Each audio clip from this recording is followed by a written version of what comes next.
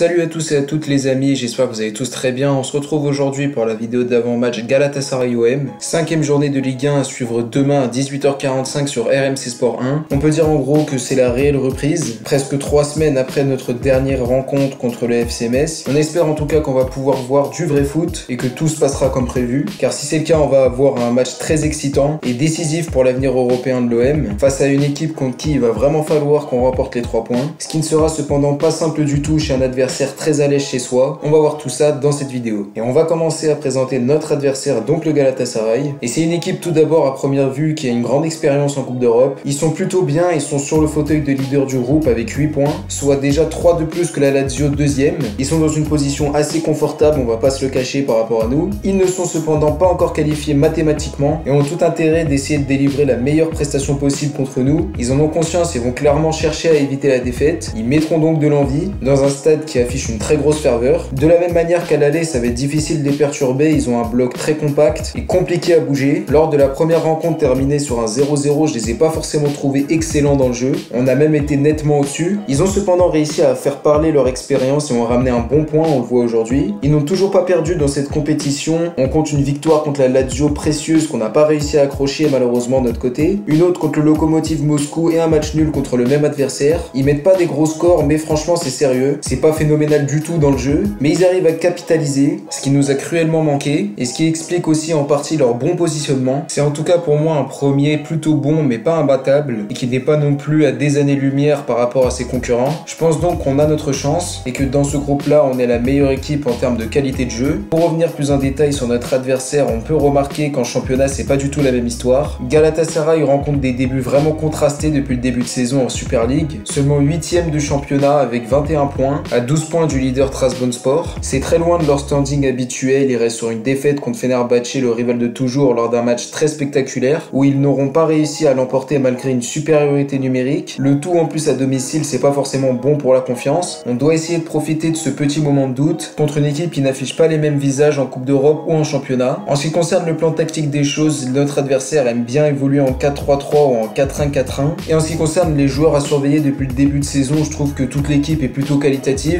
J'aime bien des joueurs comme Sofiane Fegouli, Mbaïdian, à vocation plutôt offensive. J'aime bien aussi le petit Aktour Koglu qui montre une qualité technique vraiment intéressante et qui sort d'un gros match face à Fenerbahçe. Sacha Boué que je trouve aussi pas mal du tout en défense et qu'on connaît bien dans le championnat français. C'est une équipe donc qui compte des individualités vraiment intéressantes et surtout une très bonne défense. Le tout fait que l'équipe est difficile à manœuvrer. Maintenant de notre côté, écoutez, j'ai pas grand chose à dire. La présentation reste la même que lors de la vidéo d'avant-match Lyon-OM, puisque sur le terrain rien ne s'est réellement passé. On a du potentiel, on a le ballon comme d'habitude, on a des facilités dans le jeu, mais on rencontre pas mal de problèmes évidents en ce qui concerne l'efficacité. Un problème qui fait qu'on n'arrive pas à gagner en Ligue Europa et qu'on enchaîne les matchs nuls, clairement pas mérités lorsqu'on regarde la physionomie de chaque match. C'est vraiment dommage, d'autant plus que c'est pas comme si c'était en championnat parce que là il y a que 6 journées. On a vraiment intérêt à prendre ce match au sérieux et à remporter les 3 points si on veut espérer une qualification. Va falloir aussi faire le taf contre le locomotive lors de la sixième journée. Et si on pourrait aussi éviter de finir deuxième, ce serait pas mal. Car comme vous le savez maintenant, un deuxième de Ligue Europa affronte un troisième de Ligue des Champions, ce qui n'est pas simple du tout. Je pense que l'équipe en tout cas est capable de relever le défi et a montré qu'elle pouvait être à la hauteur lors de grands rendez-vous. Mais il faut bien sûr qu'on concrétise nos temps forts afin d'éviter une nouvelle désillusion. Maintenant pour la compo, on a le droit à un seul absent mais pas n'importe laquelle. Car Payet a été suspendu face à la Lazio. C'est vraiment dommage parce qu'il est très important pour l'équipe comme vous le savez, ce qui nous met en difficulté. En tout cas pour les buts, on va continuer comme d'habitude à prendre Paul Lopez. Pour la défense centrale, on va mettre du Luan Perez, Shahet Tsar et William Saliba. Pour mon milieu de terrain, sans trop de surprise, Gendouzi, Camara, Rongier. Pourquoi pas faire aussi rentrer Gerson en cours de jeu, qui a besoin aussi un peu de jouer. Pour mes trois offensifs, ce sera Conrad De La Fuente à gauche, Aminarit au centre et Under à droite. Le Turc est de retour après une petite blessure à l'épaule. Enfin, pour mon seul attaquant, ce sera bien sûr Arkadiusz Milik, qui va devoir être bien servi et qui va aussi avoir pour but de concrétiser ses actions, d'être efficace et d'apporter vraiment un plus offensivement à l'équipe. Donc voilà les amis, c'est déjà la fin de cette vidéo. N'hésitez pas à me dire en commentaire si elle vous a plu. Donnez-moi votre pronostic par rapport au match. Pensez-vous que l'OM peut faire une belle campagne européenne? N'hésitez pas à vous défouler. On se retrouve très vite pour une nouvelle vidéo. D'ici là, prenez soin de vous. C'était Kalash. Ciao à tous